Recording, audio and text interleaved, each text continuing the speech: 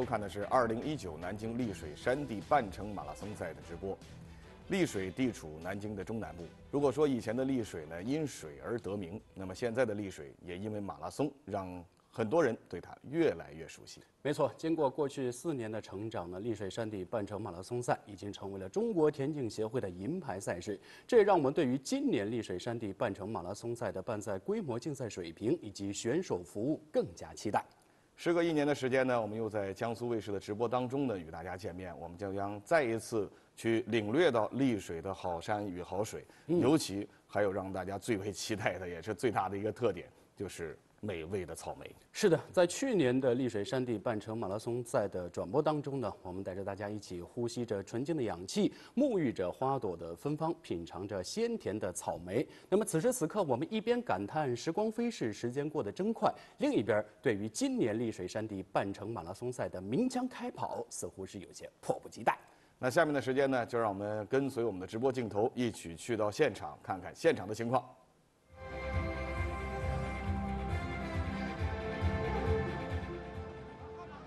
南京市丽水区委副书记、区人民政府区长薛凤冠，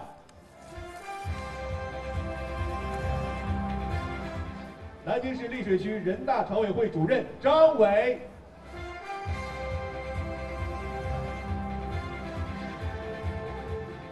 南京市丽水区政协主席朱克成，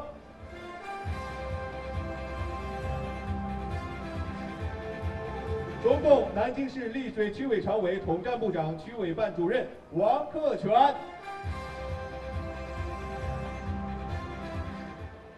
南京市丽水区人民政府副区长张维珍。中信银行南京分行副行长王志军，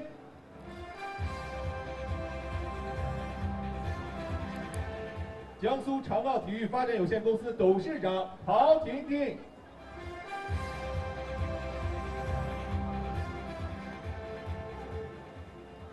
接下来有请薛凤冠区长为我们致欢迎词。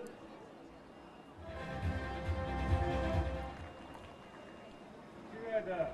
马友、跑友，各位新老朋友，大家上午好！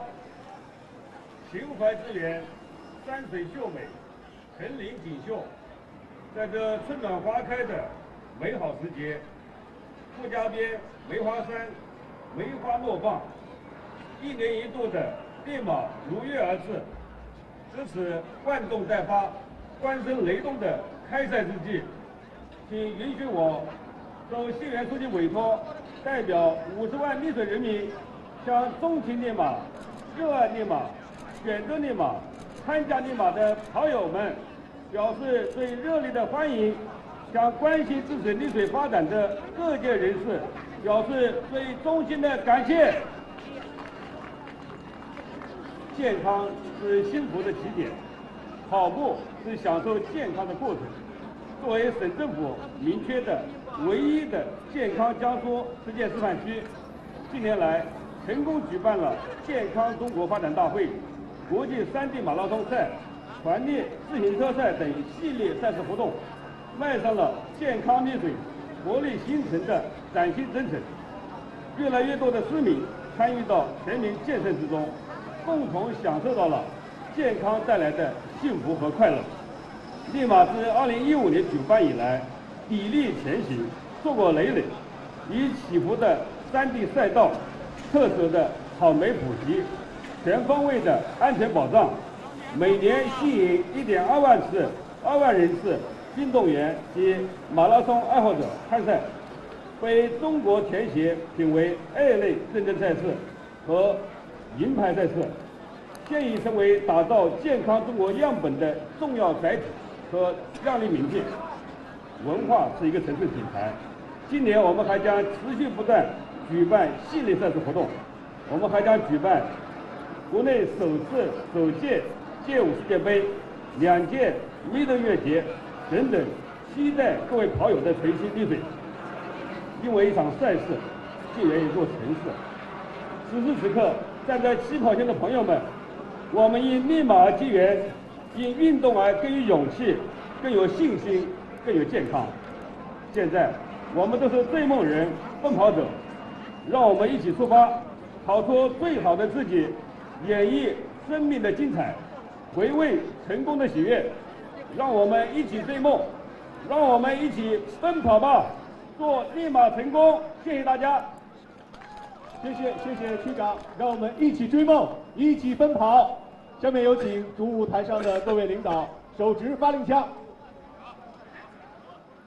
现场的朋友们，让我们一起倒数：五、四、三、二、一。好，随着我们的主舞台，我们各位领导嘉宾的鸣枪之后呢，今年二零一九年南京丽水山地半程马拉松赛就正式拉开了帷幕。是的呃从这个画面看着，真的是让人非常的振奋。嗯今年我们丽水山地半程马拉松赛也是吸引了超过一万两千名跑步爱好者前来参赛。大家现在在屏幕上能够看到，我们的总参赛人数是一万两千零二十三人，其中的迷你呢是七千零二十三人，半程的参赛人数是五千人。是的，我觉得这样的一个赛制设计啊，非常的合理。嗯，呃，我们既有这个大概是六公里左右的一个迷你跑，是啊，同时呢还有着呃二十点零九七五公里的半程山地马拉松的跑步。这一方面呢是对于跑步的爱好者提供了一个感受丽水山水的机会，另一方面对于专业的跑者来说，山地赛道与以往的公路赛道相比。它更加的有野趣，而且呢，它有着海拔的起伏，啊、有着这个高度差。其实对于跑跑者的这个要求会更高，但是在整个二十多公里的这个跑步的过程当中，会非常的有趣。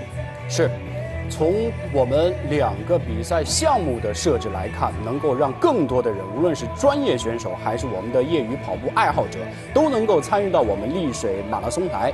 而从我们整个赛道的设计，尤其是半程的赛道设计来说，有超过三十个弯道。有大大小小的坡度，这给我们专业选手，尤其是爬坡训练这一块，是提出了很高的要求。是的，那么这一次报名参赛的这一万多名跑步爱好者当中啊，呃，据统计呢，最小的年龄是两岁，两岁对。呃，年长者呢是达到七十九岁。呃，今年我们丽水山地半程马拉松赛的起点呢，依然是放在了五响山的城市中央公园。嗯，呃，公园是位于五响山的北路丽水城南新区核心区域，围绕着引山入城、引水穿城的规划思路，依托五响山丰富的历史文化和生态资源，植入了城市休闲特色项目，打造了这座集山水资源为一体的开放式公园。我相信把起点放在这儿，也是让大家能够体会到，在三月份我们丽水春花烂漫、夏阴葱郁、秋色绚丽、冬景苍翠的这番美景。刚才呢，洪超为大家介绍到的五响山城市中央公园啊，呃，也是目前对于丽水来说最具代表性的一个景点。是，呃，在这里呢，它是五响山的一个、呃算是一个起点。嗯啊，呃它是能够让我们的所有的游客得到一个非常惬意的休息的地点。另外呢，它是有山有水。中国人都说，啊、一个城市因山而名，因水而有灵性。所以，把我们的起点包括起终点放在五响山，嗯，我觉得是再合适不过的。是。借着这个画面，给大家介绍一下我们今年丽水山地半程马拉松赛的号码布。咱们半程男子的号码布是蓝底黑字，女子半程的号码布是蓝底白字，分为 A、B、C。根据我们这个赛季，在中国马拉松平台上的赛季的成绩分为 A、B、C 三个区。值得注意的是，今天我们如果有机会的话，我们跟着镜头去找一找号码布是以 L 和 S 开头的，这是我们丽水山地半程马拉松赛在今年的一个创举，它叫做永久号码布。哦它这一张号码布上面的数字号码永久归于这位参赛者，这是我们今年丽水山地半程马拉松赛的一大亮点。那对于我们这些跑者来说，如果拥有自己的一个永久的号码布呢，也的确就是最高的一个荣誉。荣耀下面的时间呢，我们来通过一个 3D 的动画演示来看一看今天赛事的整个的线路图。我们的起起点就是刚刚为大家介绍到的五响山城市中央公园。是，首先看到的是迷你赛的这个赛道安排。嗯，在出发的终点之后呢，其实是围绕着我们第一个的山包啊，这实际上是绕一圈下来，大概是呃六公里左右的距离。对，我们的红色线条呢，就是我们今天半程马拉松赛的整个的一个赛道了。是，我们组委会也非常贴心啊，通过一些三维动画，包括一些字幕，帮助大家能够提前去领略我们这条赛道一步换景的赛道设计。是的，其实像傅家边的这个梅花山呐、嗯呃，这个景色就非常的漂亮。是包括这个傅家边还有一个农业科技园。嗯我们在说到了这个呃丽水的时候，其实提到了它是蓝莓呀、草莓呀、啊各种莓嘛经济类水果的这个主要的一个种植基地。是。啊，这是让人流口水的万亩草莓园。对，这个在这儿呢吃草莓，今天比赛是管够的。是，另外一个就是今天在赛道的十五公里左右，我们组委会特别设置了一个草莓集中补给点、啊，在那儿大家可以大快朵颐。好，再一次回到我们的起点，我们所有的参赛者呢正在按照集结的区域依次通过我们的出发点。今年我们丽水山地半程马拉松赛的比赛服呢是红色的 T 恤，另外呢结合我们黄色的参赛包，色彩是非常艳丽，让人看着、背着、穿着就想运动。是的，而且看着这个红色的这个比赛服啊，如果是过一会儿呢，我们在这个整个的五响山景区当中穿梭于林间，你会觉得它就是行走的一朵朵美丽的梅花。呃，刚才我突然在想，这个红色，我们在这一整条赛道上能够在哪些地方看到红色？刚才郑涵提到了我们的梅花，是我们的艳丽的草莓、嗯也是这个颜色，包括海棠，包括火龙果，一会儿我们在赛道上都能看到。我怎么说的都是吃的，很好看的。所以今天的这个比赛过程当中呢，嗯呃，我们说在马拉松的整个这个比赛当中，一定会设计补给点，比如说有水，是啊，还有一些这个呃热量的小零食的补充。嗯所以我们反复在强调的就是，我们来到丽水之后呢，我们热情好客的丽水人也会拿出自己最好的特产，是比如说草莓，嗯作为一个特殊的补给品。是。所以总结起来，要是让我去跑的话，赛前我的嗯参赛包里边可能是号码布啊、嗯计时背心呐、包括这个芯片。但是啊赛后，我这参赛包里边有可能是草莓呀、鸭脖啦、火龙果啦，是吧？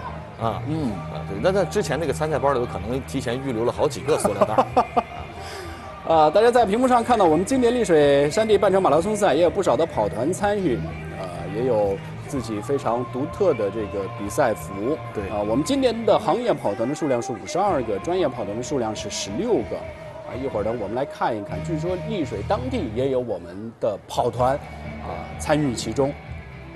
不仅如此呢，就是参加我们本次呃丽水山地半程马拉松赛呢，国家和地区啊也是达到了十八个，是然后外籍的参赛人员呢是达到七十九位。嗯，而且我觉得有一组数据非常有意思，就是今年我们参加丽水山地半程马拉松赛的本地跑者占比是接近百分之七十七，嗯是超过了九千一百多人，外地呢是两千八百多人。我相信这一组数据对于我们大赛的组委会来说是非常欣慰的。是的，其实呃能够有这样的一次半程马拉松赛的举办，对于我们当地的丽水人来说，一方面是主人翁的一种自豪感，另外一方面呢，这对于他们而言就是一次难得的节日，难得的放松。嗯。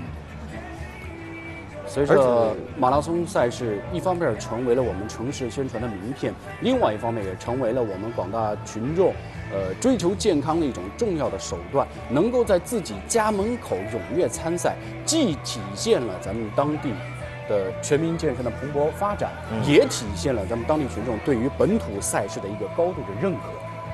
还有一个呢，就是嗯看着丽水五响山这么美丽的景色，在这里呢有山有水，而且整个的丽水啊，它的这个中小型水库是达到七十九座，嗯。森林的覆盖率呢也是达到百分之三十一点八，是。也一直被称之为是南京的后花园，嗯。包括被称之为天然的氧吧。嗯。那在这样一个无论是从环境还是空气质量都如此优良的呃区域当中，是，你都忍不住想去跑上几步。嗯你都忍不住想去投入到这个山水的怀抱当中，没错去感受这里的美景。嗯，刚才大家在你看像这样的画面，真的就是行走在山间的这一朵朵美丽的梅花。是，现在大家在屏幕上看到的应该还是对出发点啊。现在呃画面当中橙色的号码布啊，嗯橙底白字是我们参加迷你项目的跑者。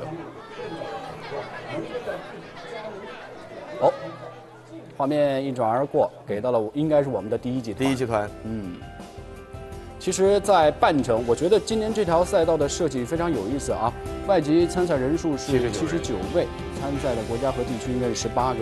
呃，非常有意思的是，出发五百米之后就是一个分叉点。分叉口，对，呃，我们的半程的参赛选手呢是左拐上坡，迷你的参赛选手是右转下坡。这对于半程专业马拉松选手来说，要想创造好的成绩，是一个非常好的一个设计。是的所以这次的这个比赛呢，它兼具了趣味性和专业性，专业性啊，也是考虑到了所有来到丽水参加本次马拉松的选手的这个诉求。嗯。画面当中依然有不少我们参与迷你马拉松的跑者陆续通过我们的起点，而且丽水这条赛道，我觉得非常有意思的就是，呃，在今年赛前不少跑友群里边跟大家在交流的时候，嗯专业选手都说呢，这条赛道非常有挑战。一方面它的坡度多，另外一方面它的弯道多。坡度意味着步频、步伐、呼吸都要调整，弯道意味着切弯身体的姿态啊，这些控制、配速都会受到影响。所以这条赛道一方面对于专业选手的竞技性有着非常高的要求，另外一方面也给我们所有参赛者提供一步换景的赛道体验，一条非常舒适的生态马拉松的赛道。刚才洪超呢给大家提到的这个赛道的难度啊，就是从海拔来说，呃，整条赛道呢，整个的这个距离当中，线路当中最低海拔处是八米，最高海拔处是达到了一百四十四米。嗯，啊，其实这个高度差相对来说，对于跑步而言，尤其是平常可能大家更多参加公路赛的选手来说，嗯这个高度差还是比较大的。是，呃，一方面是海拔啊，海拔最高地的位置是在一点五到两公里处，这是一个非常坡度非常陡的一个上坡。我觉得相较于海拔来说，这条赛道挑战最大的还是弯道和这个上下坡。嗯啊，画面当中我们也看到了不少小朋友和家长一起来到我们的丽水山地半程马拉松赛，应该是参与到我们的迷你项目当中。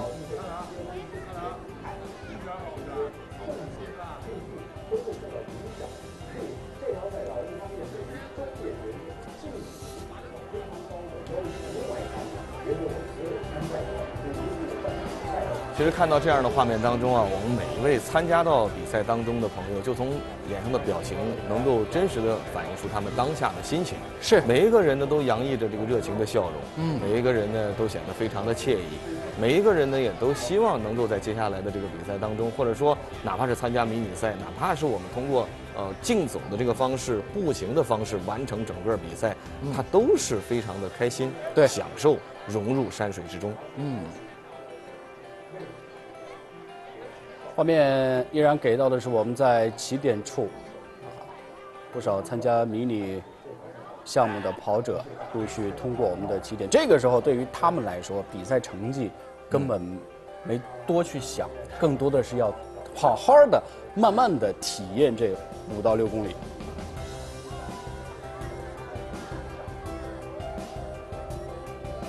哦，画面给到我们的第一集团。六位外籍选手组成了第一集团。对于他们来说，半程的比赛用时是多少？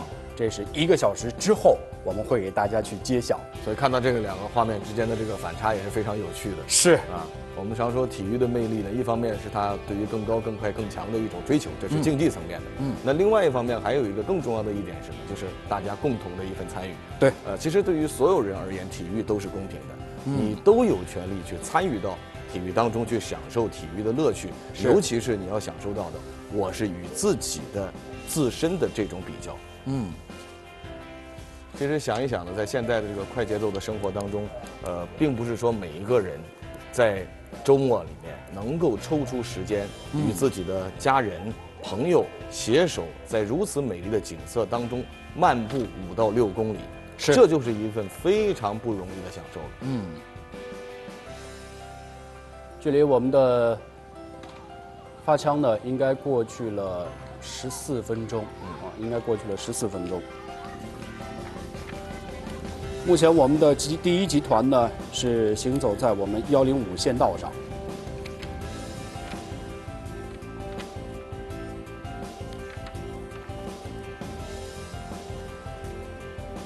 我们整个丽水山地半程马拉松赛，从它的道路的情况来说呢，都是硬地的平路啊。这也对于所有参赛选手来说，也避免了山地的这种呃石头的路面，这对于创造好成绩是有帮助。中心位置连接沪浙皖，优越交通区位令人惊叹。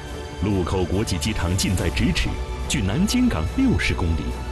秦淮河四级航道直达南京港，宁杭高铁。四条高速和五条干线公路贯穿全境，是华东地区鲜有的集空港、铁路、公路、水路于一体的立体枢纽城市。S 七、S 九建成通车，丽水从高铁时代跨入双轨时代。刚才通过短片呢，我们也已经是了解了丽水的区位优势。其实通过刚才的这个介绍，我们也看得出来，丽水呢交通非常的便利。嗯，那也对于参加我们丽水一年一度的这个马拉松比赛的各位选手来说，这是一个最好的消息。其实从呃就以南京为例，从南京呢驱车到达丽水是不到一个小时的时间。是，呃一路的高速非常顺畅。嗯。而且片子当中也提到了咱们丽水的这个区位的优势。其实大家都知道，丽水是地处长三角的中心位置，它也是连接上海、杭州、皖南的一个交通节点。不光光咱们从南京，呃，去往丽水，从城区去往丽水，这也是今天丽水山地半程马拉松上吸引了接近三千名外地参赛者的一个 先天性的优势。是的。啊。我们说呢，迷你赛道的呢，整个的这个设计的长度呢，是在不到六公里的样子啊。其实随着比赛的进行呢，现在已经是快十七分钟的时间。呃，有很多的朋友通过迷你赛呢，是主要感受马拉松的。这个运动的特殊性，或者有很多的朋友是可能第一次进行入门，嗯，呃，但也有一些朋友呢，这五到六公里同样也是我们比赛的一部分，嗯，因此呢，迷你赛的五到六公里的这个冠军，其实很快就要产生了。对，现在距离我们的发枪呢，已经过去了十七分钟，我估计二十分钟左右应该有选手完赛，甚至不到二十分钟。我记得去年在解说我们丽水山地半程马拉松赛的时候，我也透露了我个人五公里的成绩，也就是在二十五分钟左右，嗯。所以，那你这个还需要加强。对，也就是三分钟的差距啊。呃，我们的第一集团在向着终点线在迈进。当然呢，他们现在我们目测来判断，应该是在四公里左右的这个，呃，应该是在五到六公里左右的位置。嗯，在这一侧呢，上下坡会比较多，而且进行到了比赛进行到二十分钟左右，对于我们的职业选手来说，他会进入到自己第一个极限状态。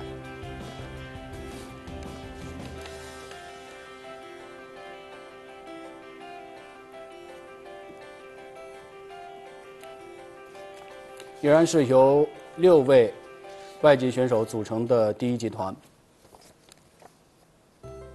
尽管比赛接近二十分钟，但是从他们的身体姿态和配速，包括整个步频来说，呃，还是相对比较的轻松。其实赛前我们所了解到的现场的体感温度大概在十五度左右。因为发枪那会儿是十度左右啊，现在呢，随着阳光照射强度不断的增强，体感温度会相对比较高啊。这个时候，这种体感温度对于选手如何保持自己的配速提出了更高的要求，尤其是在我们丽水。这条赛道上，因为坡度比较多，弯道比较多，所以要保持一个匀速巡航的一个配速会比较困难啊。所以这个时候，对于大家在赛道上的这种分段的设计，整个战术的设计，尤其是专业选手来说，提出了非常高的要求。现场也是有不少的我们的呃丽水当地的群众呃到现场观赛。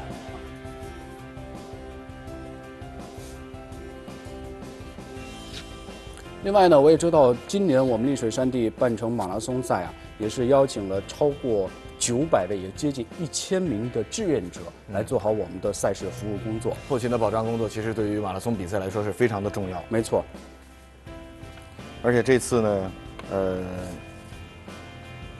除了这个志愿者之外啊，就是整个的为了安排，呃，保障我们所有运动员的这个安全，嗯，救护人员就达到了三百九十六位。是。现在从我们目测来观看、判断位置，我们的第一集团已经接近我们折返点六公里的位置了。这也就是刚才呢，洪超为大家介绍到了，就是我们山地半程马拉松赛的一个特点，就是弯道比较的多，弯道折返点，它就是实际上是一个大直弯。对。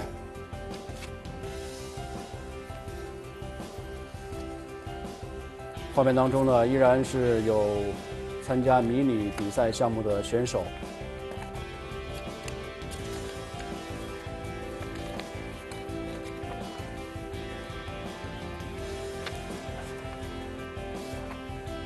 嗯，没错。现在通过我们的转播画面看到，我们第一集团啊，依然是六位外籍选手组成。是的，目前也是接近我们的折返点。呃，领先的应该是来自肯尼亚的选手。嗯，目前呢，他们应该处在六到六点五公里的位置。一会儿呢，他们经过折返点之后，向七公里去迈进。这一段呢，在他们的左手边啊，应该是可以看到我们的竹海大道。其实说了这么多，呃，在我们的第一集团路过的沿途当中啊，包括五响山的天池，包括百步云梯，包括五响山的松针步道，啊，这可能在赛道边缘我们可能看不到，但是如果您去丽水旅游，重走这条赛道的话，不妨在赛道的两侧多迈几步，你就可以在这些景点去探秘。我们进行的这个比赛的这个赛道呢，相当于是五响山的一条主干道啊。但是更多的这个景色呢，就需要我们，如果是作为游客的话，真正意义上的去融入五响山的话，你可能就要慢慢的往这个深处去走，就能够看到更多的惊喜。这里五响山的天池，波光粼粼的池水，也有一块试剑石，啊，包括我们的百步云梯，五响山的松针步道，啊，跑步道呢是。就地取材，这是女子参赛选手的第一集团。嗯。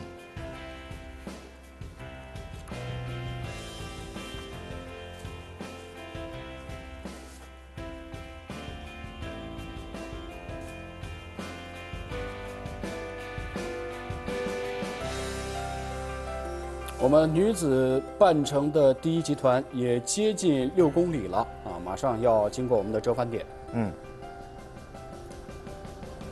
其实刚才也提到了，呃，珠海大道，嗯，这就是他们即将要经过的这个珠海大道，是，啊，到六点五公里处，嗯，其实为了发展呢，丽水尤尤其是五响山的这个旅游啊，呃，大家看到的这个整个的这个跑道，其实它做了一个一百一十九公里一级旅游环线的建设，嗯，啊，一级环线的大环主要是用于机动车，它宽度是在六到七米，串联了中南部的主要的这个景点。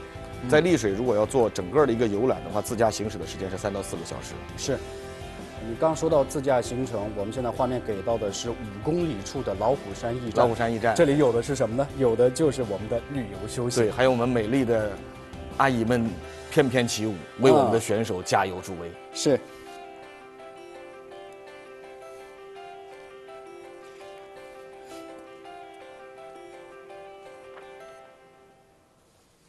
现在我们屏幕当中给到的是我们今年啊丽水山地半程马拉松赛的志愿者人数是九百六十个人，啊沿途的补给呢是设置了八个补给站。嗯，从刚才画面当中判断，我们参赛选手也是接近五公里的位置开始选择补给。其实对于专业马拉松的选手来说呢，半程也是在十公里左右才开始会选择补给。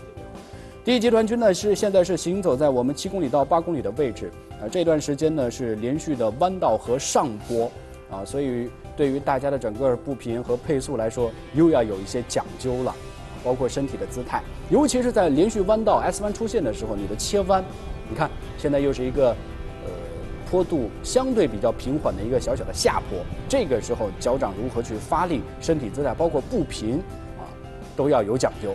所以山地马拉松赛呢，对于呃参赛运动员，尤其是专业的这个参赛运动员来说，要求真的是比较的高，因为他需要不断的根据赛道的这个特殊的情况的变化去做相应的调整。是。刚才呢，洪超也提到这个补水啊，就是包括补给，补给过程当中对于很多专业的这个选手来说呢，呃，我们在补给的时候也要注意，就是喝水，它可能就是两小口，嗯，喝个两小口就就可以把水先放一边了，因为如果过多的饮水，其实会增加在运动过程当中肾脏的负担。是，对于很多专业选手来说，他选择补给的时候，往往用把这个纸杯啊折成一个小口，两手拧着杯沿。这样的话，小口米，单次补水量会相对控制。另外，它会通过海绵去吸水，嗯啊。但是呢，这种情况的出现往往在全程当中比较多，啊，在半程当中，对于专业选手大概是在十到十五公里左右，他才会选择途中的补给。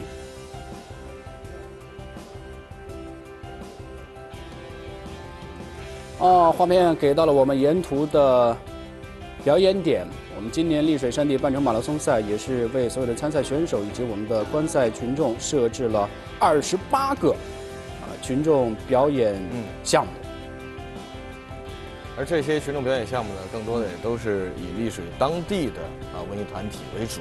是，刚才我们看到呢，有这个我们呃可爱的阿姨们的广场舞的表演，刚才也看到了有威风锣鼓的表演。是，现在我们的第一集团已经。接近八公里左右的位置，目前呢，他们身处的是傅家边的梅花山。屏幕上给到的是前五名，来自外籍的选手啊。对，暂时排名第一的是来自乌干达的选手。嗯。哦，在进行到八公里之后，啊，第一集团的位置也是出现了。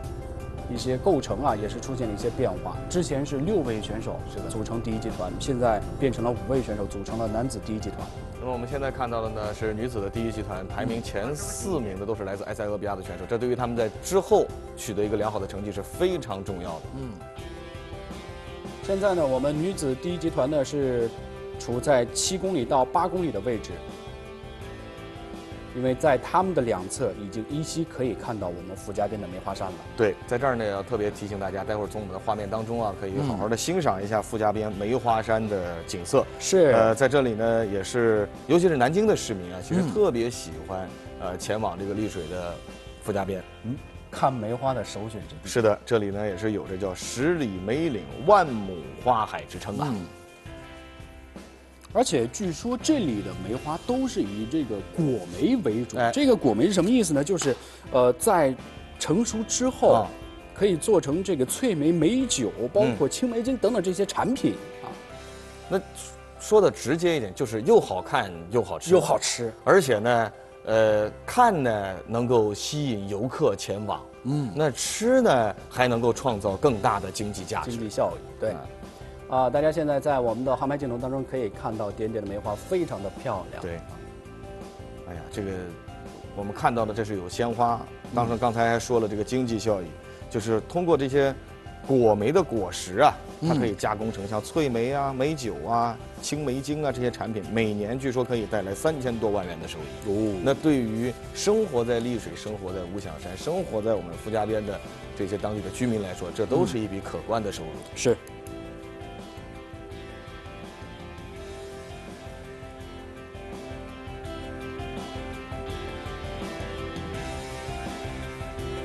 过这个画面，我们也可以看到，在主干道的两边啊，美丽的梅花正在花团锦簇的盛开。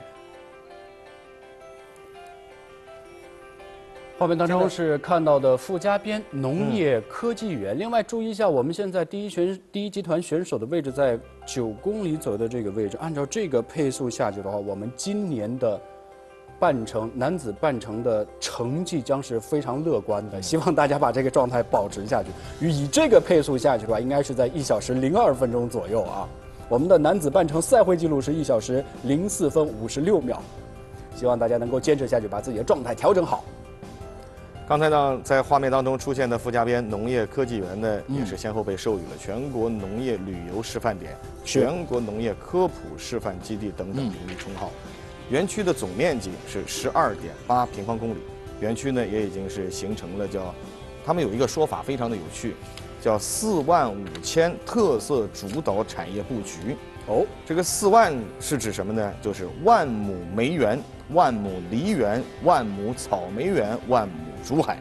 那五千呢是千亩葡萄园、千亩桃园、千亩海棠园、千亩茶园和千亩菜园。嗯，这都是一个有机的结合，就还是印证了我前面所说的那一句话，就是来到傅家边，来到五响山，来到傅家边的农业科技园，那就是又好看又好吃。又好玩儿。啊，目前我们第一集团啊依然是由五位外籍选手组成我们男子第一集团军。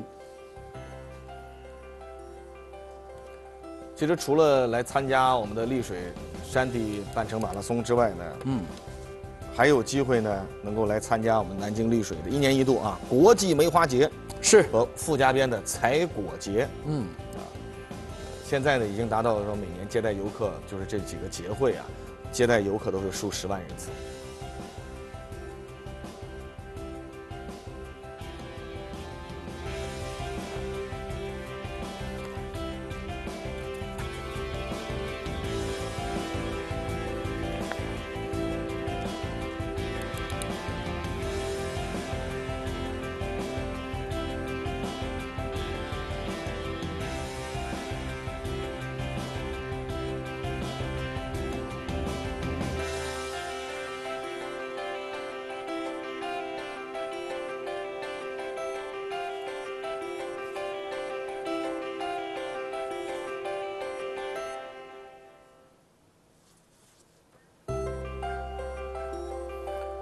现在屏幕上看到的依然是我们无论是半程的跑者，还是我们的迷你的跑者，也是绕着我们五响山啊，在完成自己的比赛。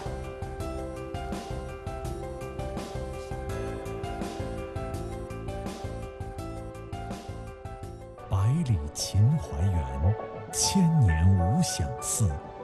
李白、韩熙载、周邦彦等诗人为五响山留下赞誉的诗篇。群山连绵，层峦叠嶂，行走在群山环抱中，松林交映，树木葱茏，山顶天池常年不合，清澈澄碧。沿着松针步道找寻传说已久的事件石，北侧的观景平台登高远眺，饱览丽水城景，望群山起伏。山阴无响寺因之，无响寺南朝四百八十寺仅存的遗迹之一，托付盛名，禅房幽静，梵音弥漫。韩熙载著读书台，朝夕与四僧参禅悟道，沿百步云梯而上，细听洞壁琴音的美妙。响山景区与天地对话，与山川为友，让旅游进入无想之境。刚才呢，我们重点提到了来到我们丽水山地半程马拉松赛能够看到的美景，是的，能够品尝到的美食。现在我刚才这条们看到片子里的响山的天池。是，刚才这条片子也给大家介绍了，其实我们的丽水有着非常深厚的历史文化的内涵啊。我们五响山的天池，这是在我们赛道的一点五公里处啊。如果大家能够多走几步的话，就能够领略到我们天池的美景。而在中国的这个传统文化当中呢，对于很多的文人墨客而言，嗯他们都是要游历祖国的大好河山。是，呃，也因正因为如此呢，呃，有着如此美景的五响山的景区啊，嗯也确实就像洪超刚才给大家介绍的，留下了很多动人的人文故事。嗯。隔着屏幕，我们都能够闻到我们的赛道当中清新的氧气、纯净的氧气。好，现在看啊，我们第一集团军也是出现了一个小小的格局的变化。是的，现在呢，领跑的第一集团已经变成了三位选手。是，但是身后呢，还是有一位追赶者。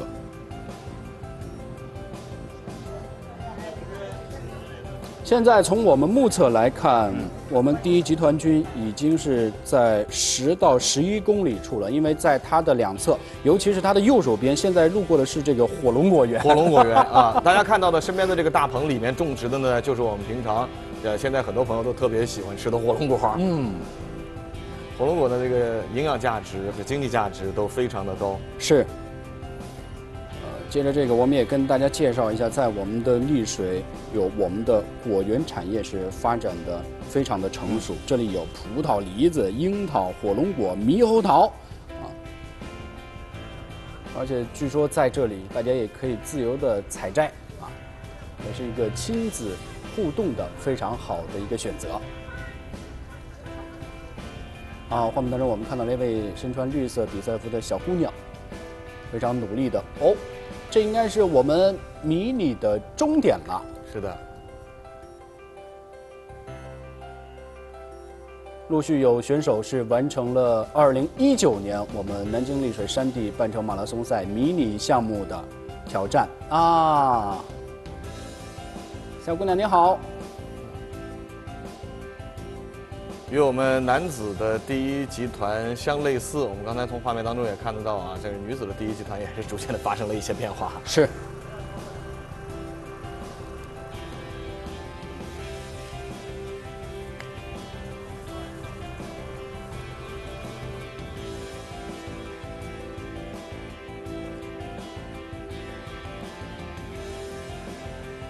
画面给到的是我们参加迷你项目的跑者，不少呢都是全家出游，共同完成挑战。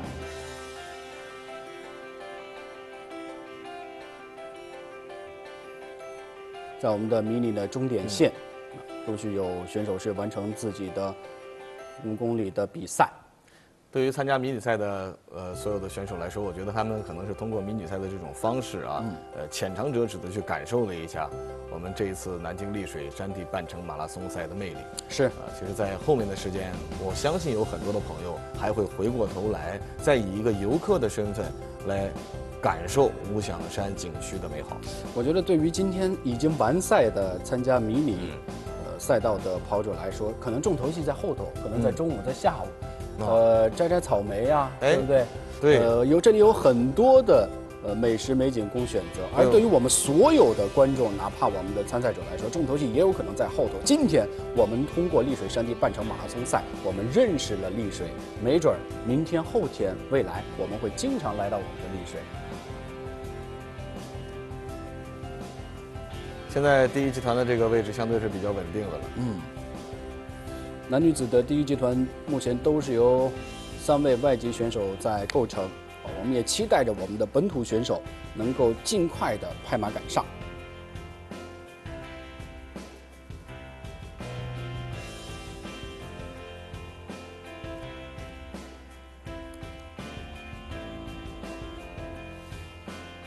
我们目前女子第一集团军所处的位置应该是在十一到十二公里的这个位置。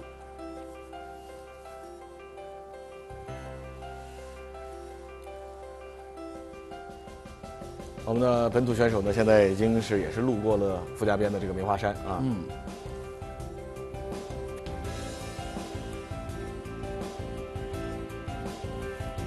目前的位置应该是在九公里附近的梅花大道啊。刚才我们的画面当中给到的是男子半程的这组选手所处的位置，梅花山啊。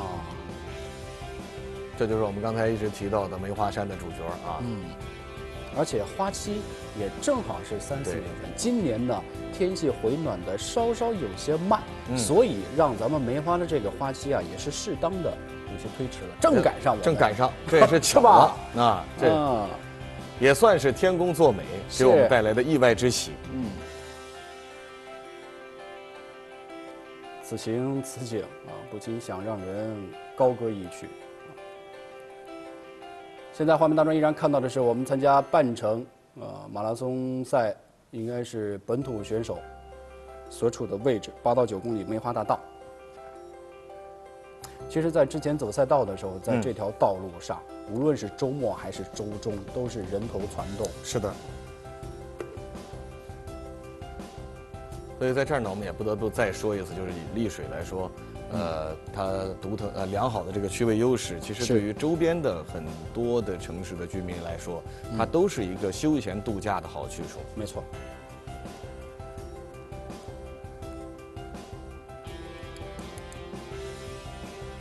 美丽的梅花大道，嗯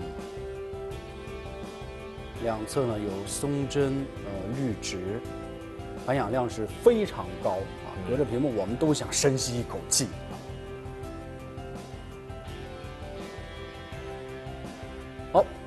我们在画面当中看到身穿绿色比赛服的，应该是来自我们泰州的跑友啊。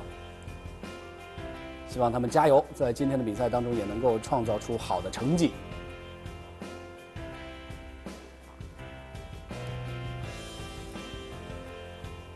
平时啊，能有机会在我们梅花大道当中自由的徜徉、肆意的奔跑，机会不多，实属难得。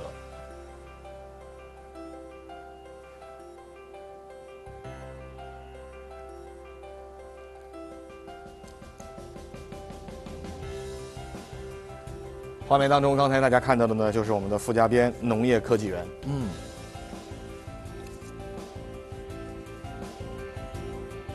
第一集团领先的三名选手的状态，感觉现在是越来越好啊，是大步流星。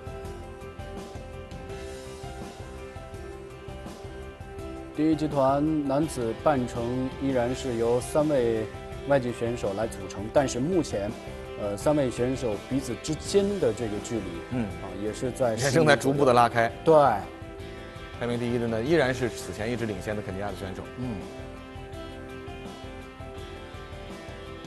十公里的成绩是达到了三十一分三十八秒。嗯。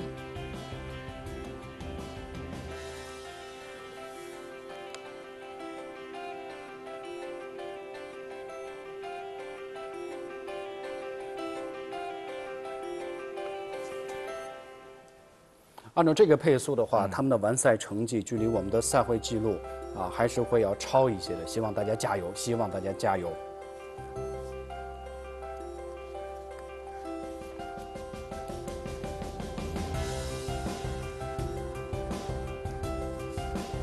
十公里，我们女子半程第一集团的比赛用时是在三十三十五分三十六秒。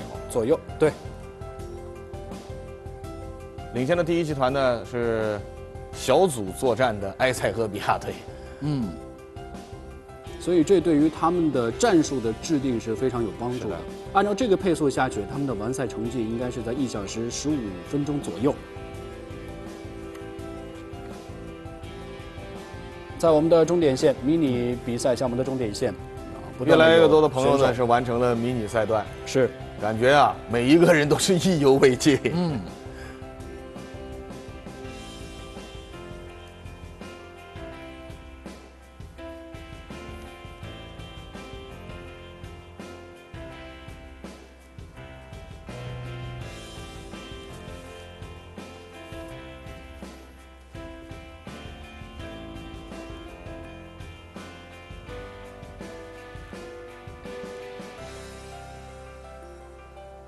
这次的比赛确实让我有一个感受，就是来到这里的小朋友比上一届感觉是多了不少。很多，对。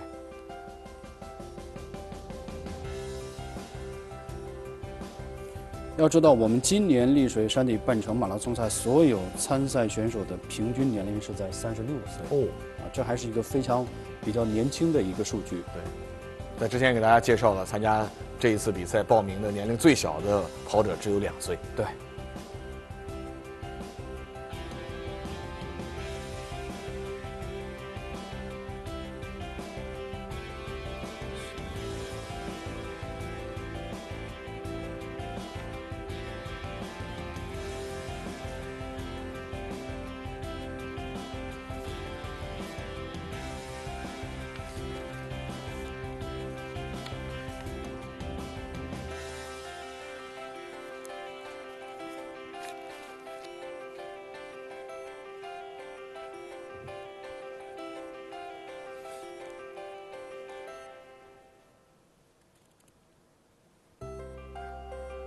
丽水呢，因为这个各色的果园产业啊，发展的是呃非常的好，所以呢，在丽水也有这么一个说法，叫月月有花，季季有果。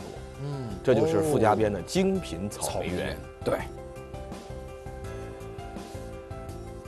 而且在我们丽水山地半程马拉松赛的举办之时，正是我们傅家边草莓的丰收时节。嗯，大家在我们赛道的两侧可以看到，我们有很多的种植的这个大棚啊，大家可以呃到我们的这个大棚当中啊，现摘现吃。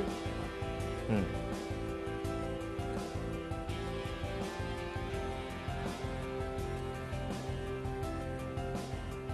傅家边的草莓园呢，呃，现在也是运用了很多新的这个生物科技技术，嗯，呃，亩产呢可以达到三千多公斤，那么亩均的收益是三到四万元。隔着屏幕，我们都能闻到草莓的清新。是的。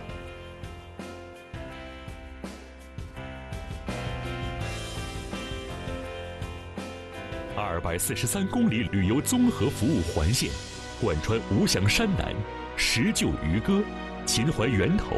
红色里巷四大都市田园休闲度假体验区，精心打造南京丽水梅花节、草莓节、蓝莓节、玫瑰节、捕捞节、米豆音乐节、秦淮源头灯会、山地马拉松、万池汽摩赛、环力自行车赛等一批特色旅游节会品牌，成功获评中国十佳宜居宜商宜业宜游目的地。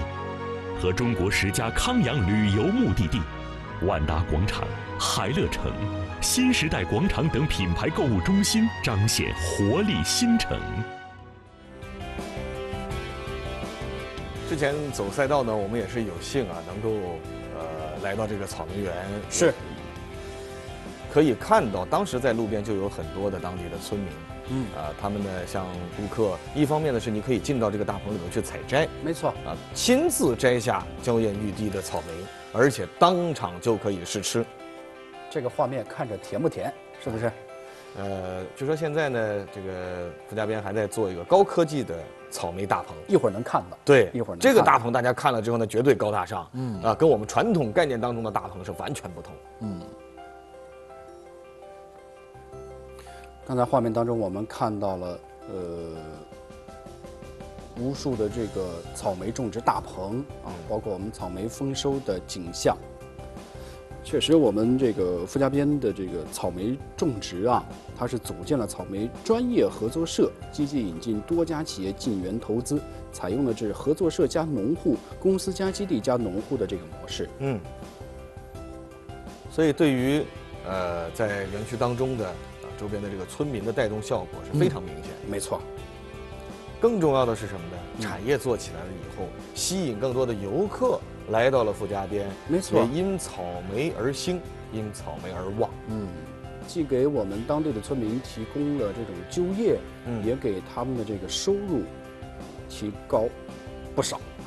游客来到了傅家边之后呢，真的是不愁没玩的。我们可以赏梅花，哦，这就是我们刚才给大家提到的这个高科技的草莓大棚。是，呃，真的是鸟枪换炮的感觉。就是说，它这个里面的大棚的草莓种植呢，是分层种植。嗯，呃，这一点也是考虑到，比如说我们的游客来希望去感受采摘的这个乐趣的话，以往是必须蹲下来在地上摘草莓，而进到这个大棚里头，因为它是分层种植，所以你站着就可以直接摘草莓了。嗯。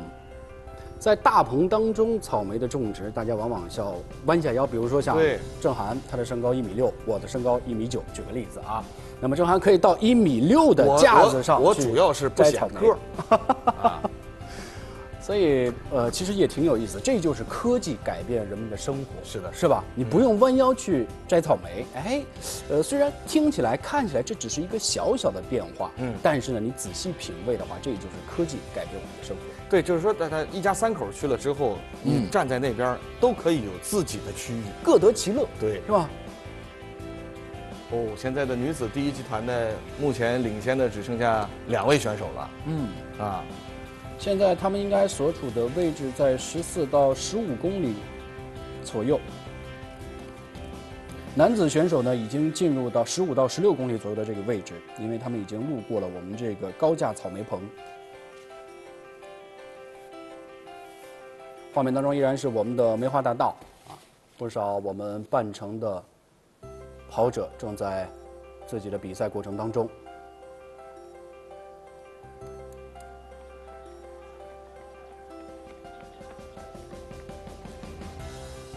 从画面当中看到大家的整个身体姿态来判断，呃，整个体力保持的还是不错的。嗯，对于更多的跑者来说，他们只是通过自己的亲身参与，对来感受这一次山地马拉松的乐趣，嗯，来感受五响山景区的美景。你看，连大圣都来了，嗯，二师兄也来了。这是在迷你比赛赛道上，不少选手依然是在自己的完赛过程当中。我相信有很多参加过这个迷你赛之后的朋友，可能都会觉得，哎呀，明年，明年我我一定要参加这个半程马拉松，这这这个六公里太短了。嗯，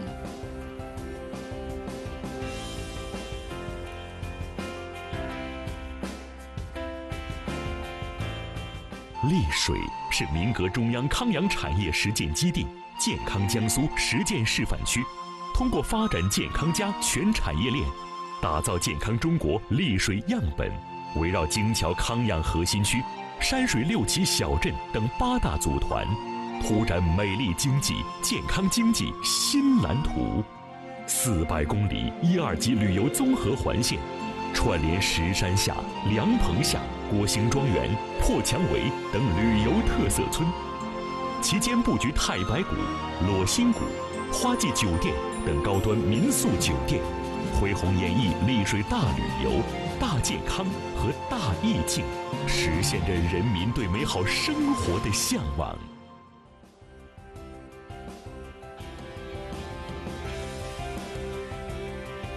画面当中呢，刚才一闪而过，我们看到的是在去年，也就是二零一八年，我们健康中国发展大会是十月十号在丽水区举行。当时我们这个健康中国发展大会围绕深入落实健康中国战略，发展康养产业，共建美好生活主题啊，举行了主旨演讲、授牌仪式以及项目签约等等。所以健康啊，在丽水人民的心中是有着极高的一个位置，而且呢，目前很多的比赛呀、项目也是围绕着我们全民健身的这个主题去打造。是的，而且说到健康来说，它现在已经是一个非常大的一个概念。它除了人的身体的健康，它也有我们生态环境的健康，而这二者之间都是息息相关的。是。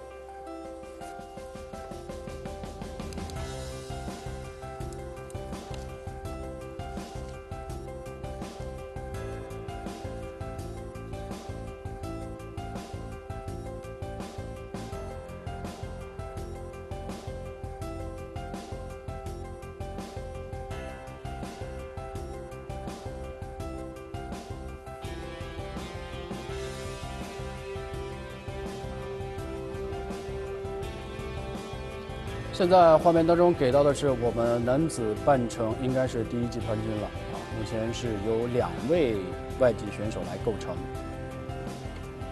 所以从这一个细节能够看得出来，我们今年丽水呃半程，尤其是男子组的竞争还是比较激烈的。是的，从之前第一集团的六位选手到目前为止只剩下两位选手，他们的比赛用时目前已经过去了五十二分半钟。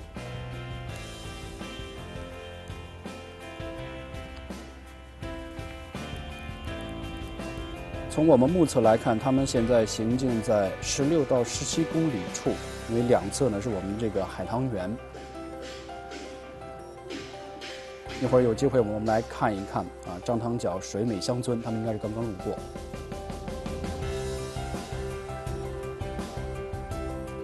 这还是我们的草莓园。嗯，女子集团第一集团呢，现在是在草莓园。嗯。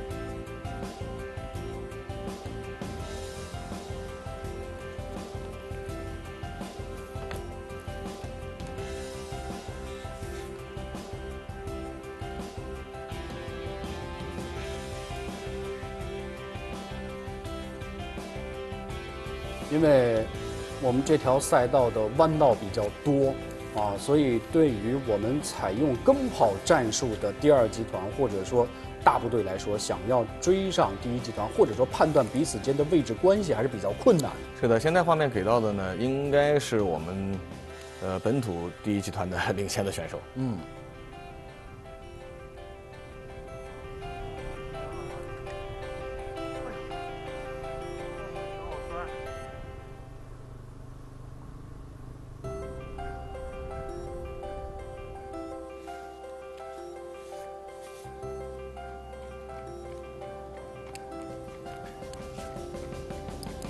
名第一的依然还是乌干达选手，四十五公里的成绩四十六分十七秒。嗯，按照这个配速下去的话，他们在比赛中段的表现是非常不错的。之前我们还在判断他们距离赛会记录稍稍有一些远，但是这个配速距离赛会记录也是在五秒钟左右。这个配速如果完赛的话，是在一分零一小时零五分钟左右。我们的男子半程赛会记录是一小时零四分五十六秒，给他们加加油。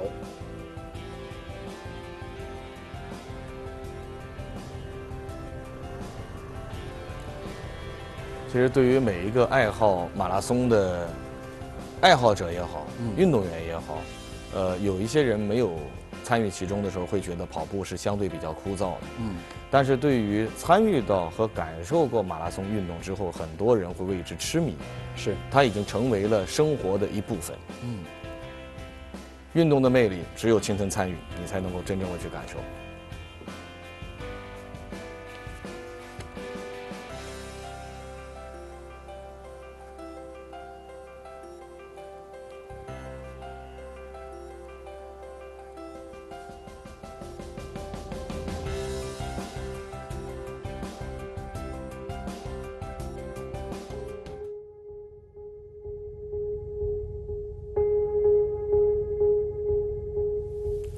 中国有四十三万人身份证以三二零幺二四开头，如果没有马拉松，大家只是过客。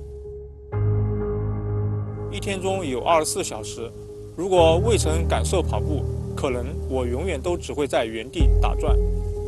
大家好，我是芮强军，是一名马拉松爱好者。过去四年，我已参加全马赛事二十二场，半马赛事二十八场。通过四年不断跑步的坚持以及科学计划的训练，就是让我在每次比赛中从艰难完赛到现在的游刃有余，让我真正的了解到什么是坚韧不拔、永不放弃的那种精神。现在的微信好友大概有一千多个人，百分之九十都是我的跑友，因为通过这个跑步这个运动，让我认识了更多的正能量的朋友。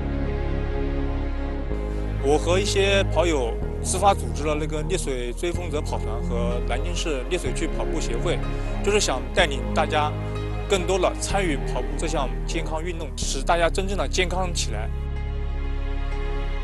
没有这个溺水马拉松，我也不会去参加这个跑步这项运动。作为溺水本地人，五响山这个美丽的风景，还有听到路边亲切家乡话为你加油，还有。独具特色的草莓补给让我很亲切。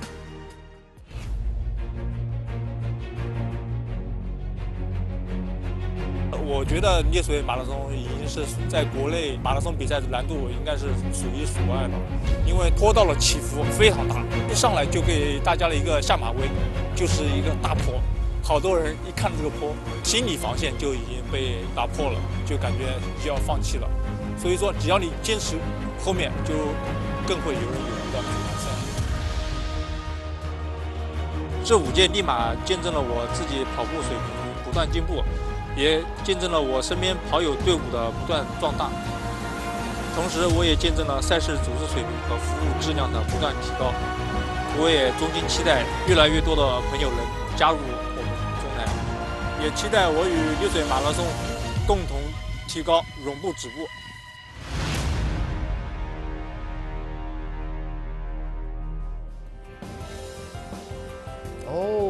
画面当中，我们看到了芮强军在比赛当中的实时的画面啊，这个非常不容易啊。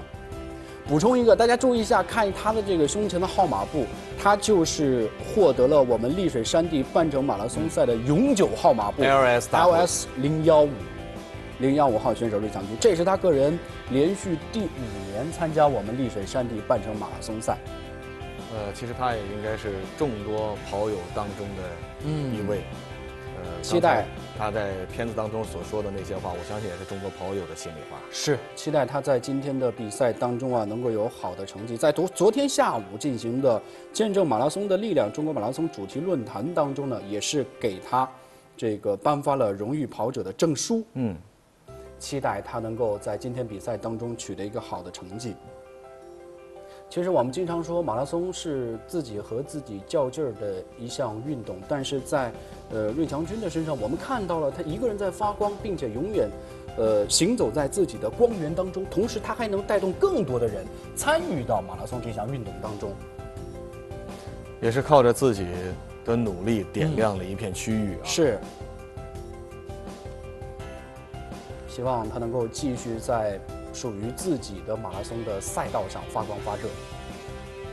马拉松运动呢，在大家看来啊，呃，有很多的朋友认为，那不就是跑步，好像很简单。其实这看似简单的背后，需要科学系统的练习。对比如说，对于这次半程马拉松的赛的准备，呃，初跑者和资深的跑者的准备的方式就是完全不一样的。对，这种赛前的准备，包括赛后的恢复，比赛当中战技战术的设计，啊，都是完全职业选手和我们的跑步业余爱好者是完全不是的。画面当中也是提示我们，今天的救护人员是达到了三百九十六人，救护车也是准备了有九辆，也是说明了赛事的组委会对于我们所有运动员的安全和健康都尤为的重视。是，第一集团呢依然还是并驾齐驱啊。来自乌干达的艾安娜·保罗，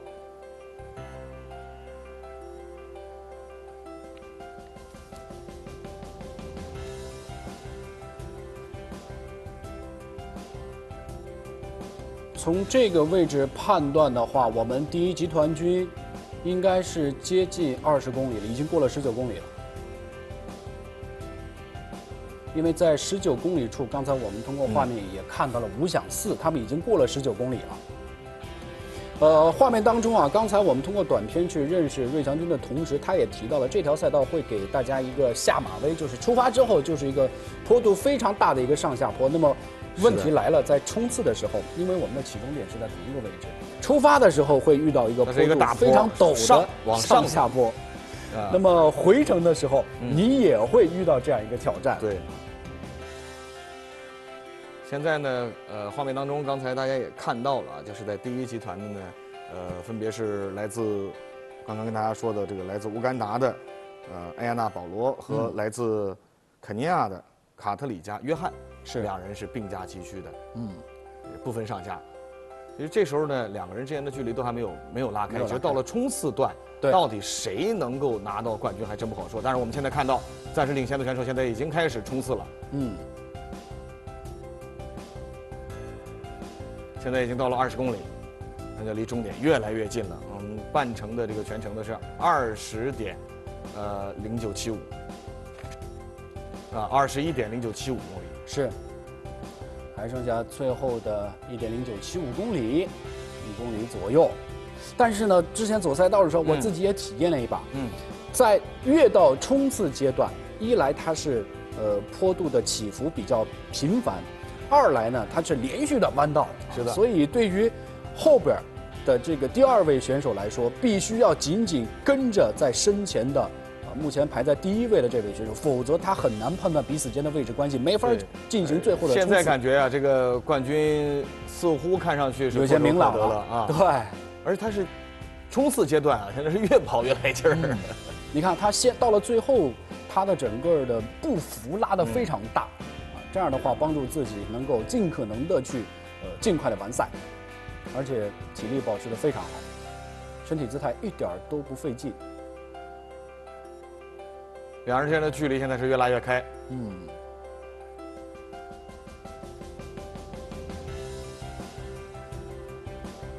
彼此之间应该是二十五到三十米左右的一个差距。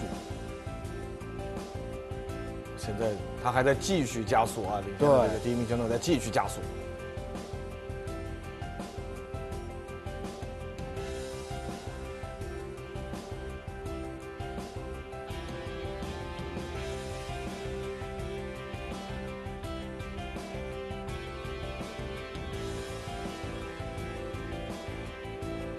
的比赛用时是目前是一小时零三分五十二秒，我们赛会记录男子半程是一小时零四分五十六秒。最后应该是五百米左右的距离，来看一看他的冲刺。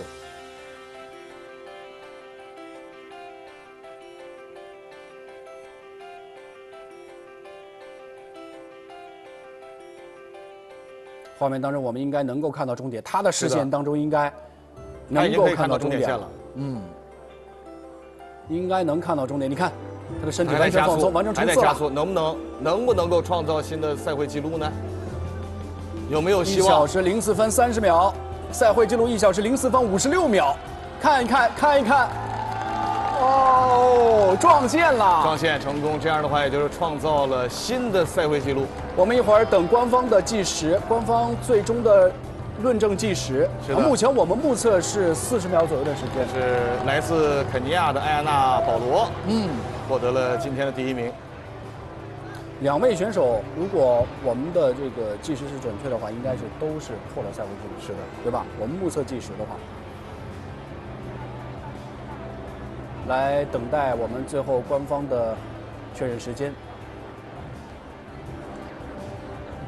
但是不管怎么说，首先恭喜我们两位参赛者，从这个画面能够判断出来，他们的比赛经验非常丰富。半程跑完了，跑完了之后，呃，不需要更多的恢复，嗯，自己对于自己的实力和状态非常有信心。在半程马拉松赛比赛结束之后，其实对于所有的运动员而言啊，其实赛后的恢复是非常重要的啊。嗯。呃，首先一个呢，就是你不能马上的就让自己的身体静止下来。对。其实要通过轻微的这种运动，持续的这种运动，然后再去做一些拉伸。嗯。这和我们赛前的热身至少半个小时是同样的道理。赛后完赛之后，也需要慢跑或者慢走。十五到二十分钟，这样让自己的整个的身体肌肉完全放松下来，让乳酸呢不要呃堆积。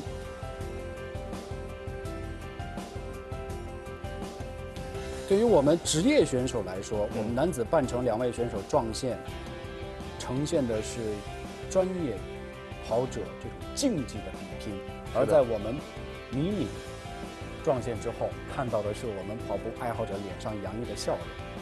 现在我们看到的呢是女子的第一集团，他们路过的右侧，画面的上方应该是我们的五想寺的水库，那目前是在十八到十九公里处，应该接近十九公里。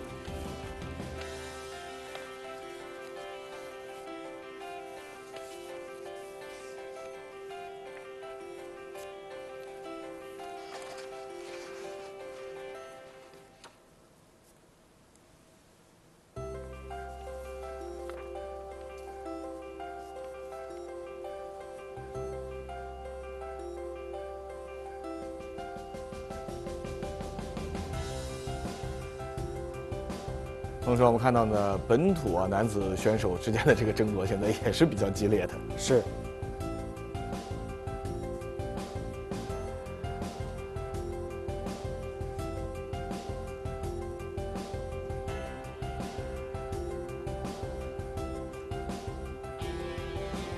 我估计我们本土男子的率先完赛应该是在一小时十五分钟左右。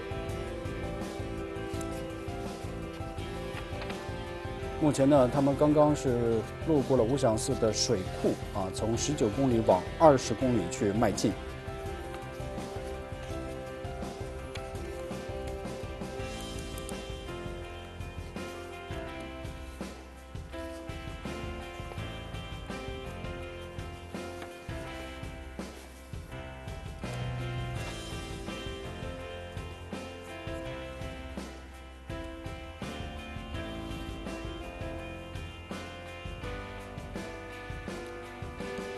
女子的赛会记录呢，最好成绩是一小时十四分四十八秒，嗯，是二零一七年创造的。是。按照今天这个比赛配速和他们现在完赛的情况来看，嗯，也有可能破赛会记录，也有可能破赛会记录，我们来期待一下。但是摆在他们眼前的依然是从十九点五公里到最后的二十一公里，连续的这个呃坡道的起伏以及我们的连续的弯道，会给他们的心理造成一些压力，同时对于生理的一个挑战会更大。所以我们刚才看到啊，就是来自这个呃乌干达啊肯尼亚的这个选手啊，他实实际上也就是在最后的阶段是成功的甩开了身后追赶者。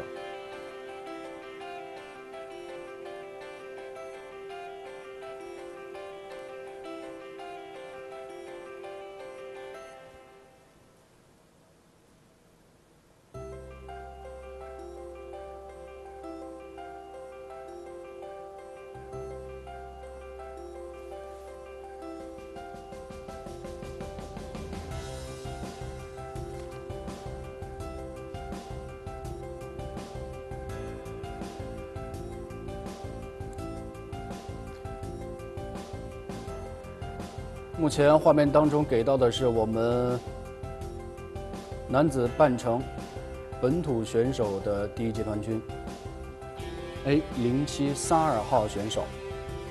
刚才他也在看着秒表，在掐着时长时间。他应该比赛用时过，呃，目前呢应该是过了十九公里，比赛用时是一小时十分十秒左右。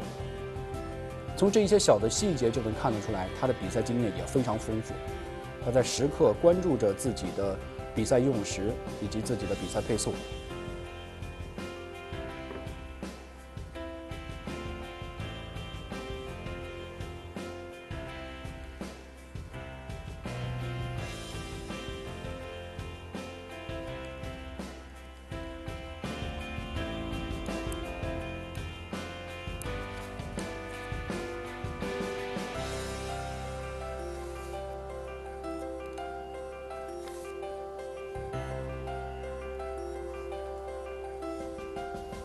在比赛赛道半程的赛道过了十九公里之后呢，呃，接下来的这一部分赛道就是半程和迷你的共同的赛道。嗯。所以这个时候，我们参加迷你项目的跑者基本完赛之后，把整个的赛道留给了我们半程的跑者，半程的参赛者，这也有利于他们创造好的比赛成绩。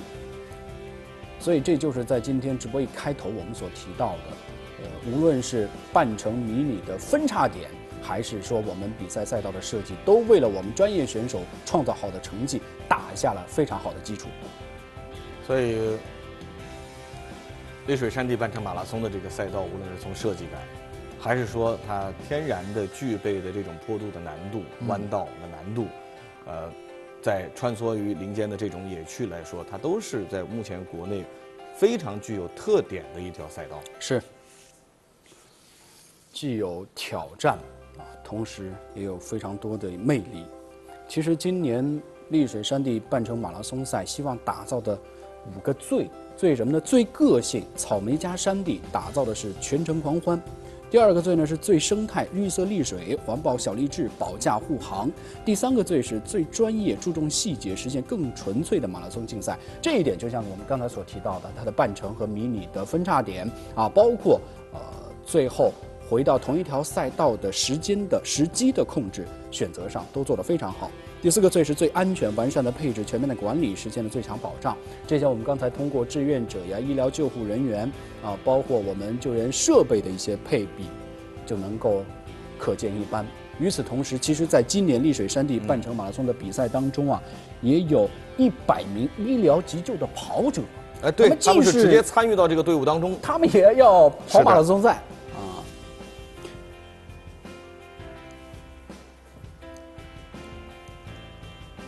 现在我们本土领先的男子第一名选手，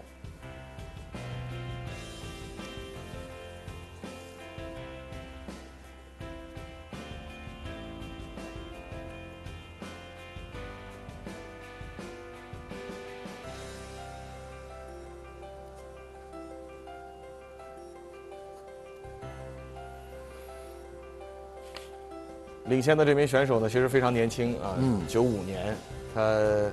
是来自浙江绍兴，对，张立刚，张立刚，加油！今天的完赛的用时应该是在一小时十六七分钟左右。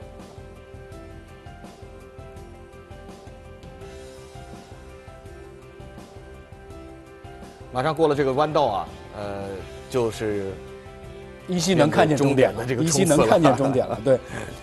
过了这个弯道，距离终点大概五百米左右的距离。加油！同时呢，在他的身后，大概三十到五十米的这个位置，哦，你看女子第一集团军开始发力了开始发力了。不知道张立刚有没有观察到啊？哎呦！最后这个冲刺，这是直接超过了张立刚。这个是在冲刺阶段是带了涡轮增压的啊。那对，一瞬间就是从弯道过来了之后的一瞬间，进入直道之后全速冲刺。是，看一看他的比赛用时一小时十四分四十三秒，也有可能破赛会纪。我们等待最后官方的成绩，官方计时。女子半程的赛会纪录一小时十四分四十八秒，现在刚到四十八秒。一会儿我们来看一看啊，这是来自埃塞俄比亚的选手啊。嗯。那么我们本土的第一名选手呢，也已经产生了，那就是张立刚。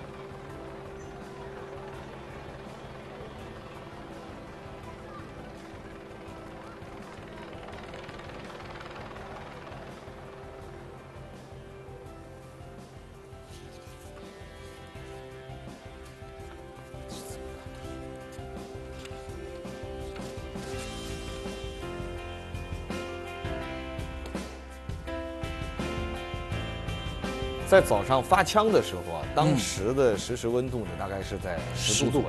对，啊，那么现在随着这个时间的推移，目前呢已经快临近上午的十点钟，我们看到阳光哎，就完全都出来了。那，这个时候在赛道上其实还是比较温暖的。嗯，这时候体感的温度会比较高。嗯，一方面呢。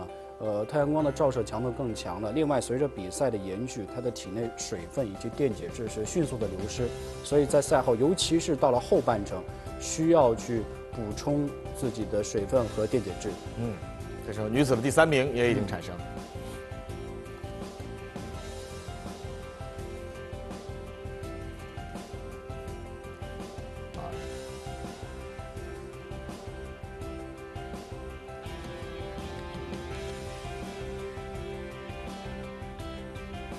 画面当中，我们应该看到的是芮强军，啊，他的比赛实时画面。我们也一起期待他在今年丽水山地半程马拉松赛当中的成绩。是的，在短片当中也是自己介绍，一年比一年成绩好，看看今年怎么样。第一年参加的是迷你，就像郑涵之前解说里边所提到的，很多跑者今年参加迷你，明年就想来挑战一下半程，他就是一个非常成功的一个案例。而且呢，第一年参加可能是自己来参加，第二年参加呢就开始组织身边的朋友一起参加，再然后人家可以组织自己的跑团，啊是。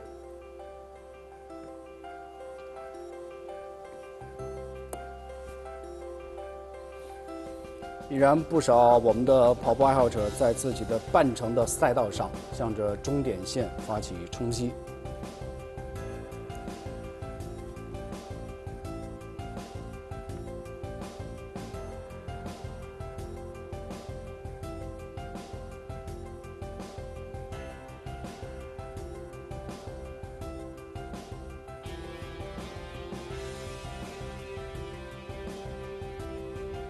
这组画面应该是我们在此前啊选手在自己赛道上的一些实时的画面。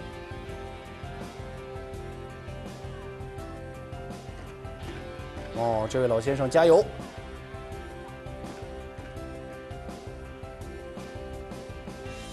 每一位跑者啊从他们的身上都可以感受着他们洋溢出的那种对于体育的享受。是。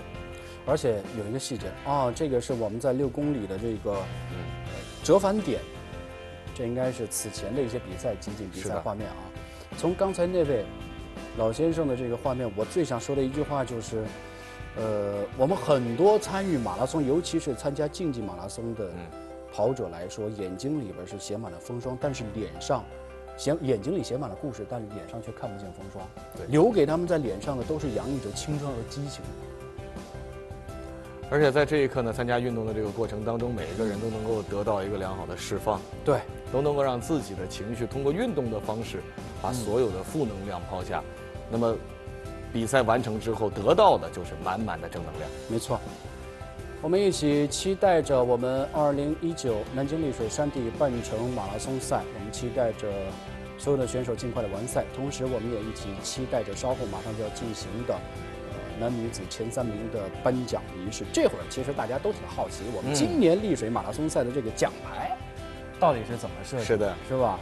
啊，嗯，今年我们丽马的奖牌呢，还是以丽水的特色，像梅花呀、草莓、山地、嗯山水建筑为设计主元素啊，融入了丽水的著名的景点，包括五响山的风景区。奖牌中间呢是有灵动的跑者奔跑于青山绿水之间，以最生动的形象方法来展现丽水的自然风光。一会儿我们结合我们的赛后的颁奖仪式来看一看那这今年丽水的这个奖牌完赛的内容还是非常丰富的。对，而且今年不仅仅这个呃完赛奖牌值得期待，比赛的这个纪念章，嗯也非常值得期待。所有参加的报名参赛的选手，来参赛的选手都将获得这个纪念奖章。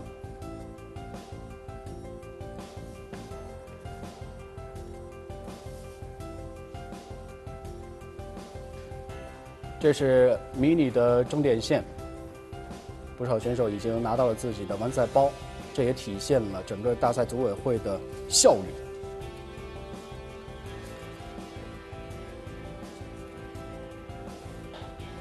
当然，我们也在期待着我们男子前三名的官方确认用时。男子前三名呢，分别是来自于第一名是来自于肯尼亚的阿亚纳保罗，第二名是来自于乌干达的卡特里加约翰，第三名是来自于肯尼亚的伯纳德。一起期待他们今年的比赛用时。场上呢，我们的运动员在比赛过程当中啊，奋力的拼搏。那场下我们的助威点的叔叔阿姨们也是热闹的热火朝天。是。其实啊，我们经常在解说比赛时候提到过，呃，一项大赛哦，这是我们的外籍选手，一项大赛的成功举办啊，离不开每一个小小环节的拼接。如果把比赛这一个大赛比作一串非常好的珍珠项链，那么无论是我们的选手的服务啊，呃，医疗啊、救援呐、安保啊，这些都像一颗颗珍珠，只有串在一起，包括我们的表演点，只有串在一起，才能够让这串珍珠项链发光发亮。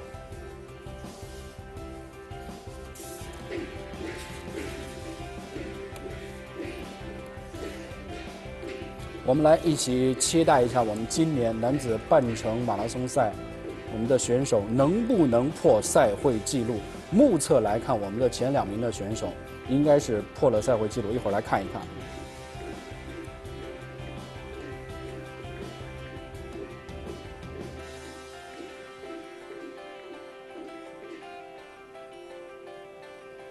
画面当中依然是此前啊，在比赛当中，我们的半程的跑者路过梅花大道的景象。月月有花，季季有果，这就是傅家边，这就是我们的五响山最真实的一个写照。是。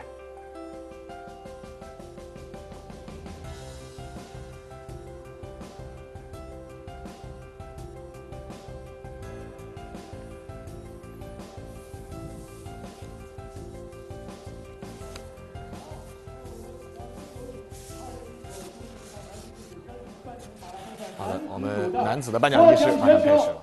掌声有请。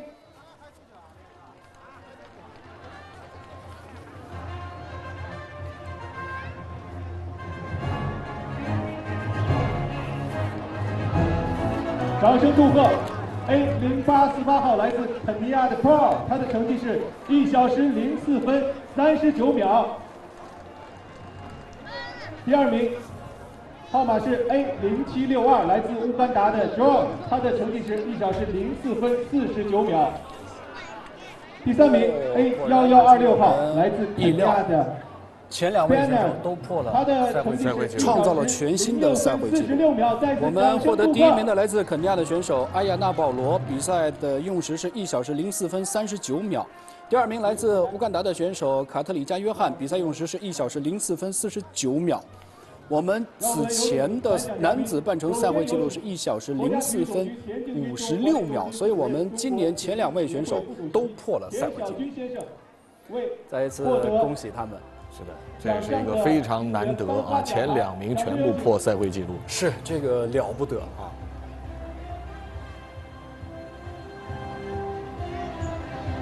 此时此刻，我们又有一个小小的好奇，就是女子我们的前三名，尤其是第一名，他的撞线成绩是不是也能破赛会纪录？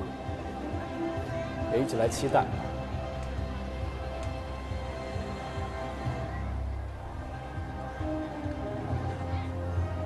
我们也要再一次恭喜我们的冠军艾亚娜·保罗。田主席在舞台一侧稍事休息。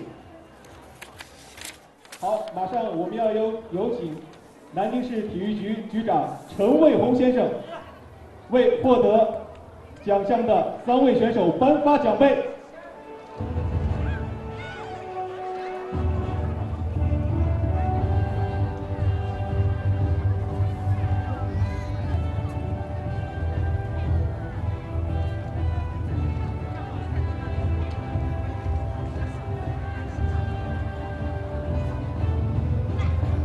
恭喜我们获得2019南京丽水山地半程马拉松赛男子半程前三名的所有的选手，确实他们今天的表现非常的惊艳，创造了全新的赛会纪录，也为我们2019年丽水山地半程马拉松赛的成功举办呢是锦上添花。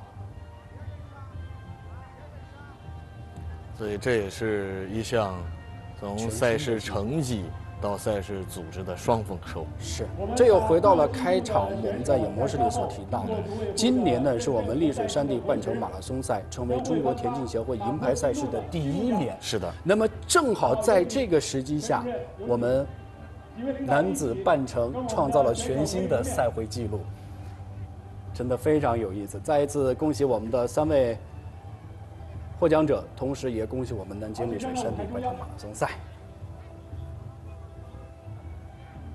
现在大家看到的呢，就是我们今天比赛男子前三名选手的成绩。嗯，谢谢颁奖领导再次祝贺，祝贺获得金银铜牌的一小时零四分三十九秒。明年当我们再给大家带来南京丽水山地半程马拉松转播的时候，男子半程的赛会记录就变成了一小时零四分三十九秒。我们期待着每一年我们的参赛者都能够有突破。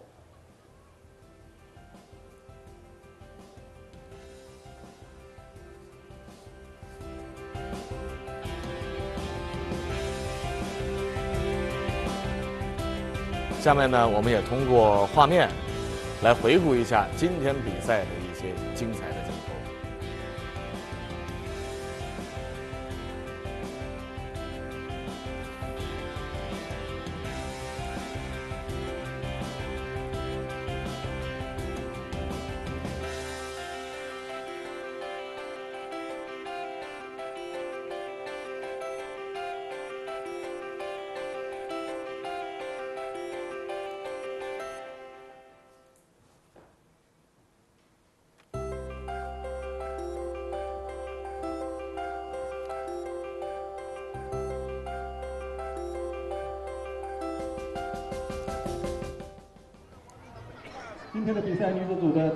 是一小时十四分四十八秒。